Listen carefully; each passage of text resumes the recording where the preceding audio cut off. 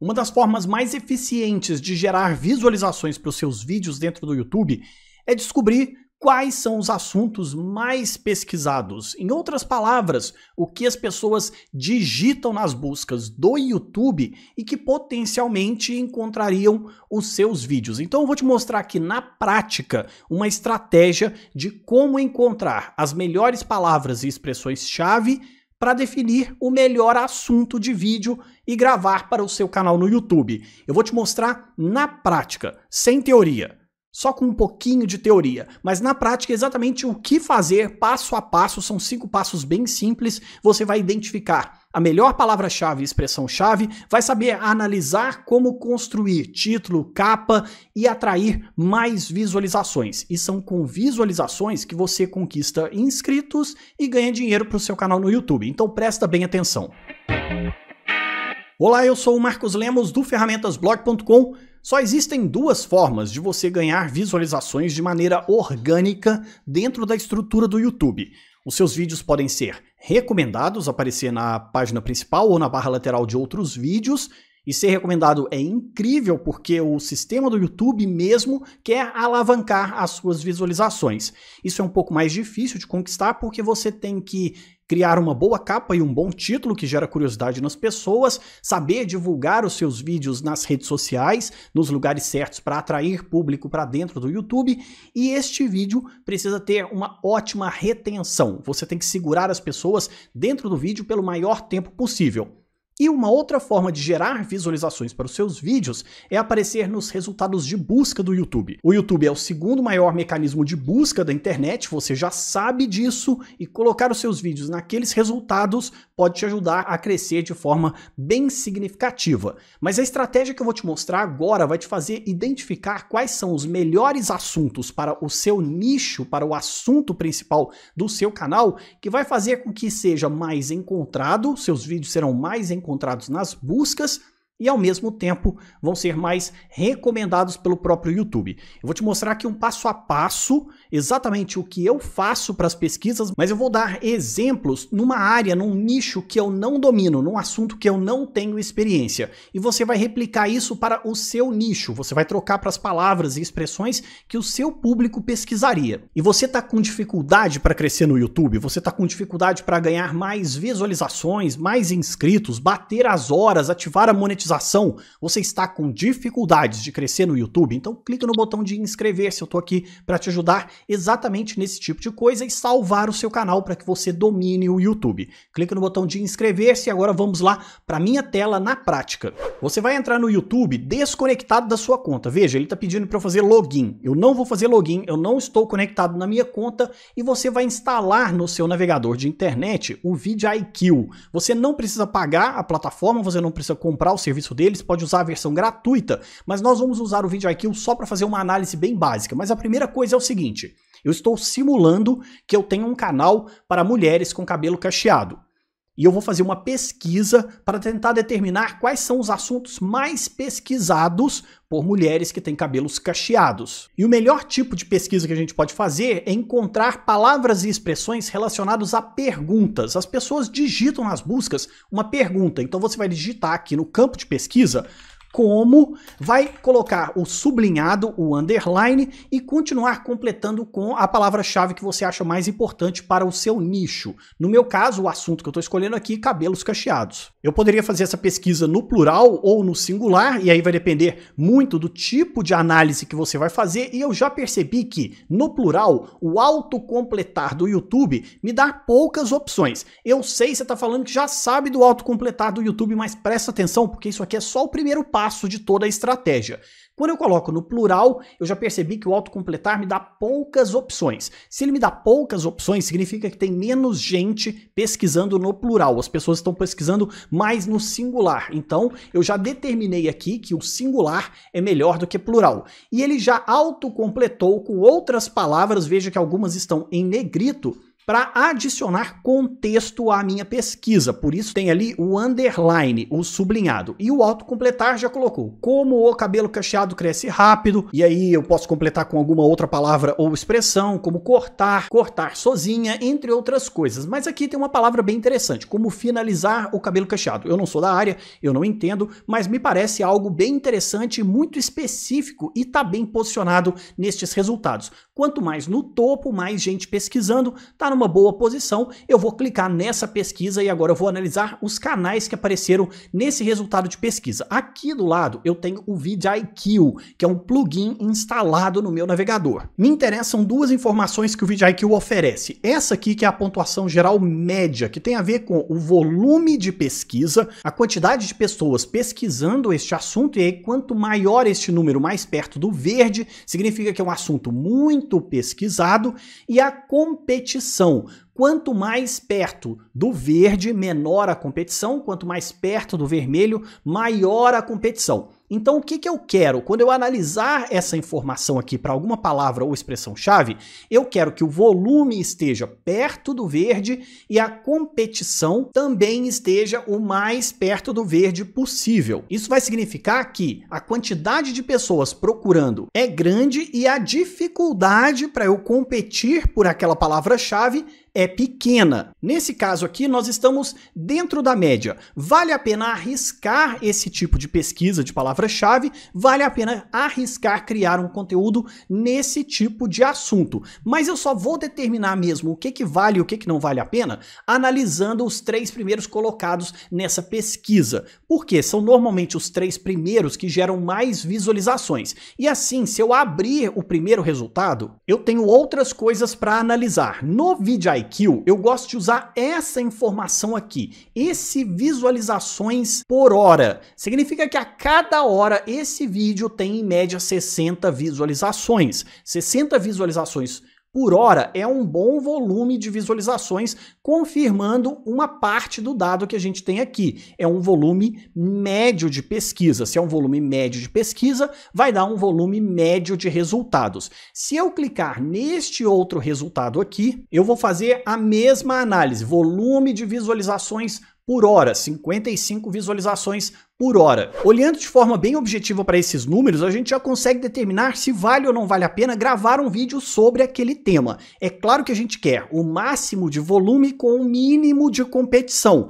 Quanto melhor forem estes números, maior a sua chance de gerar visualizações. Só que competir palavras-chave que têm um grande volume normalmente é mais difícil, porque se tem um grande volume de pesquisa, também vai ter uma grande quantidade de competição, vai ter muita gente pesquisando e produzindo para aquela palavra-chave. Se você tentar achar números que estão sempre dentro da média ou um pouquinho abaixo, mas você cria bons conteúdos sobre aquele tema, você vai capitalizar, você vai atrair visualizações, não em grande quantidade, mas num valor numa quantidade significativa que gera visualizações para o seu canal. E nessa mesma estratégia, o que nós queremos analisar também são os canais recomendados na barra lateral dos vídeos que estão bem posicionados. Eu quero saber quais são os canais e quais são os vídeos que aparecem na barra lateral dos vídeos que eu estou pesquisando. Então eu vou procurar aqui se eles têm assuntos relacionados ao mesmo tema, se aqueles outros canais estão num ritmo de atualização, quais são os títulos, as expressões, as palavras-chave que eles estão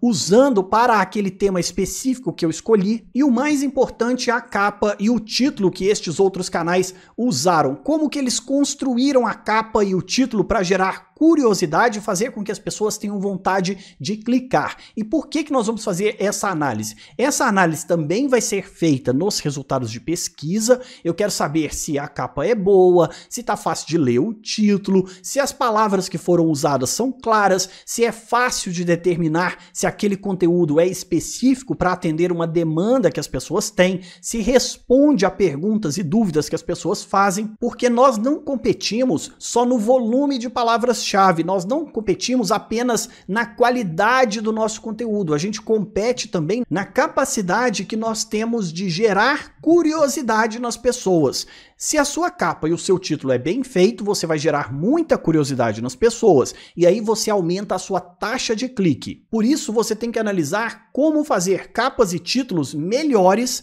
mais instigantes, que geram mais curiosidade no seu público do que as suas competidoras, os seus competidores. No fim, nós estamos disputando pela atenção do nosso público. Nós estamos disputando a chance de ganhar um clique em preferência do clique que poderia ser dado a outro canal e a outro vídeo. E perceba bem, a nossa estratégia é analisar não só os resultados de pesquisa, porque nós queremos aparecer lá, mas também queremos aparecer na barra lateral como vídeo recomendado dentro dos vídeos que estão melhor posicionados. Você vai incluir na sua análise também qual é a duração média dos vídeos dos seus competidores, a duração média dos vídeos que estão melhor posicionados. Aqui nós temos ótimos exemplos: 10 minutos, 12 minutos e meio, 25 minutos. Provavelmente essa criadora aqui mostrou todo o processo sem cortar nenhuma etapa, o que pode ser muito interessante, especialmente para pessoas que tenham muita dúvida sobre aquele tema, e um outro vídeo de 15 minutos. Ao determinar qual é a média, você vai tentar fazer pelo menos um roteiro que tenha uma duração média próxima das suas concorrentes, dos seus concorrentes. A duração total do seu vídeo e a sua capacidade de escrever um bom roteiro é também o que vai determinar a sua capacidade de engajar e ganhar a atenção das pessoas pelo maior tempo possível. Quanto mais tempo as pessoas passarem assistindo o seu vídeo, maior vai ser a sua retenção e isso é outro sinal de que o YouTube vai analisar para saber se vale ou não vale a pena recomendar o seu vídeo em detrimento de outros. O YouTube prefere recomendar vídeos e até posicionar vídeos nos resultados de busca que conseguem segurar as pessoas pelo maior tempo possível. Por isso, a sua análise também agora tem que ser em assistir os vídeos dos seus concorrentes perceber o que eles não falaram ou como você consegue fazer melhor do que eles. Nessa análise que eu estou fazendo aqui, eu consigo deduzir que essa terceira posição, essa pessoa que publicou este vídeo que ficou em terceiro lugar, ao analisar as concorrentes, ela percebeu que poderia fazer um vídeo mais completo e mais detalhado sobre o tema, e aí ela, ela fez um vídeo de 25 minutos de duração. Mas o que não pode acontecer é você aumentar a duração dos seus vídeos de forma artificial. O seu vídeo tem que ter a duração adequada para sua capacidade de entregar o que foi prometido. E agora você também vai colocar na sua análise, na construção da sua lista de palavras e expressões expressões-chave o que estas pessoas escreveram na descrição, nas tags e onde as palavras e expressões aparecem e complementam, dão mais informação sobre o tema daquele vídeo. E não fique preso tanto à ideia de qual é a melhor tag, quais as tags que você tem que colocar em seus vídeos. Hoje o sistema do YouTube leva em consideração muito dos metadados que nós podemos oferecer a descrição. Escreva uma boa descrição, apresente o seu conteúdo, fale do seu vídeo, Use as palavras e expressões-chave da sua pesquisa dentro de um contexto, como se você fosse escrever uma pequena redação de três, quatro parágrafos sobre o seu vídeo. Quanto melhor e mais aprofundada for a sua descrição, maior o sinal que você passa para o algoritmo do contexto e da informação do seu vídeo. Ferramentas como o VidIQ, eles te ajudam nisso para você identificar quais foram as tags usadas, quais foram as palavras e expressões-chave que aquele criador deu prioridade e você também pode analisar a descrição. Quando eu me deparo com criadores que não fazem descrições, como essa aqui que só colocou links e arrobas de suas redes sociais, eu percebo uma grande chance, uma grande oportunidade de ranqueamento, de conseguir posicionar o meu vídeo melhor do que ela. E eu posso fazer essa mesma análise para outra concorrente, ver quais são as palavras e expressões que ela usou nas tags e também analisar a descrição. Neste caso aqui, ela até escreve uma descrição, mas ela perde tempo em adicionar palavras e expressões, especialmente nas primeiras linhas, que não agregam valor nenhum do ponto de vista de otimização para o vídeo. Mas ela fez um esforço de escrever aqui duas linhas praticamente sobre do que se trata o vídeo. Eu percebo, analisando estas pessoas aqui, que há uma grande oportunidade de ranquear vídeos escrevendo tags títulos e descrições bem melhores, mais eficientes e mais completas, o que aumentaria a minha chance nessa disputa, já que eu sei que o volume de pesquisa está dentro da média e a competição também é dentro da média. A competição não é tão grande porque não tem tanta gente produzindo conteúdo, mas a minha percepção ao analisar estes canais e estes vídeos é que a competição é ainda mais baixa justamente por causa da ineficiência em criar conteúdos e metadados para aumentar a sua chance de aparecer bem posicionado nos resultados de busca. Sim, eu estou falando de SEO, de otimização. Nós não otimizamos os nossos vídeos apenas para eles aparecerem bem posicionados nas buscas. Otimização no YouTube é você deixar o seu conteúdo mais amigável para o algoritmo, mais amigável para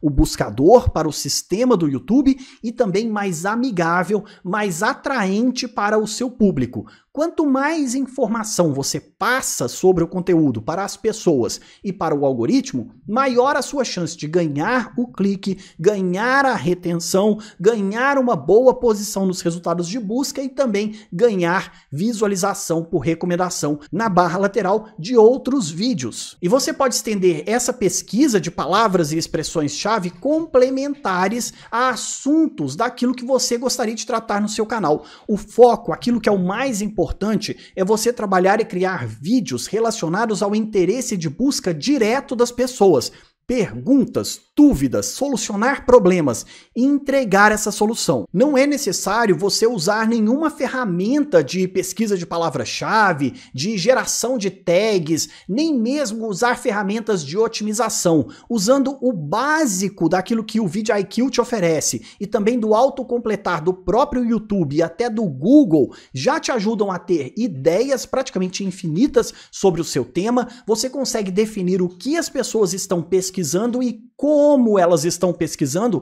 porque isso é o mais importante. E você vai criar o seu conteúdo para resolver e atender aquela demanda específica. Você não precisa inventar a roda, você só tem que dar a solução para as perguntas e as dificuldades que o seu público efetivamente tem e já demonstram nas redes sociais e nas plataformas como um todo. Se você fizer bem o seu trabalho, dá para colocar os seus vídeos bem ranqueados até nos resultados do Google o Google vai também querer te entregar como solução para as pessoas, já que muita gente faz pesquisa além do próprio YouTube, já que existem dois grandes buscadores, Google e YouTube, que são da mesma empresa. E o Google também te dá muitas ideias e sugestões de palavras e expressões-chave, de perguntas e dúvidas e como que as pessoas escrevem nas buscas. Aqui tem, as pessoas também perguntam, e você aqui já tem outras ideias de soluções e possibilidades. Você pode ver o que outras pessoas já criaram. E também logo embaixo pesquisas relacionadas, outras palavras e outras expressões que as pessoas continuam escrevendo nas buscas, que vão te dar ideia não só de palavras e expressões-chave para você colocar no seu vídeo, mas também de palavras e expressões-chave para você gravar mais vídeos para o seu canal diretamente atendendo à dor, à demanda e à realidade do seu público. Você não precisa inventar nada, você só tem que descobrir, pensando nas palavras e expressões-chave que o seu público normalmente vai digitar para criar o conteúdo, para gravar o vídeo, escrever os seus roteiros. E eu sei que a dificuldade da grande maioria das pessoas é ter ideias e ser persistente, nunca desistir. Eu tenho aqui uma playlist completa com vários vídeos com centenas de ideias de como você pode aplicar esse tipo de pesquisa e gerar conteúdos infinitos para o seu canal, manter o seu canal no YouTube sempre atualizado, porque isso é outra estratégia. Dá uma olhada nessa playlist, eu tenho certeza que você já está inscrito aqui no canal, agora é mãos à obra produzir conteúdo. Eu espero você nestes vídeos. Até a próxima!